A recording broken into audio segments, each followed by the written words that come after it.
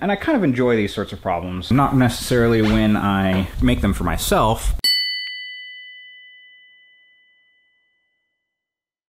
So one of the things I did as part of uh, the shop improvements was to insulate and skin the doors. Now, uh, these doors are they're barn style doors, so unfortunately they don't lend themselves to um, being weatherized, weatherproofed. Uh, they have these big gaps. I talk in either a video that's coming before this one or after this video about how I think I'm going to deal with with those gaps, both on the both sides and the top and the bottom. Um, but this video is about handles. So I kind of painted myself in a corner, and I have this piece of trim here that's I'm just using to help seal up the gap between the two doors.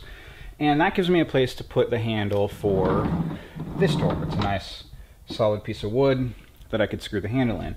Unfortunately, I'd like to have the handle maybe about there for this door, but there is nothing behind there. That's just a thin piece of uh, melamine, so there's nothing substantial to put a screw into uh, that would just rip out if I had screwed it into the melamine. Um, if I had thought about it ahead of time, I could have put something behind there in order to screw the handle to. I do think, and, and I kind of enjoy these sorts of problems, um, not necessarily when I make them for myself, but I do think I have a way. So there is part of the frame right here, a board right there that I can screw into. Obviously, I can't put the handle there, it's too close, but I do think I have a way of being able to screw in to there, but still have the handle out here where I would want it to be. And that's what this video is about. So let's get started.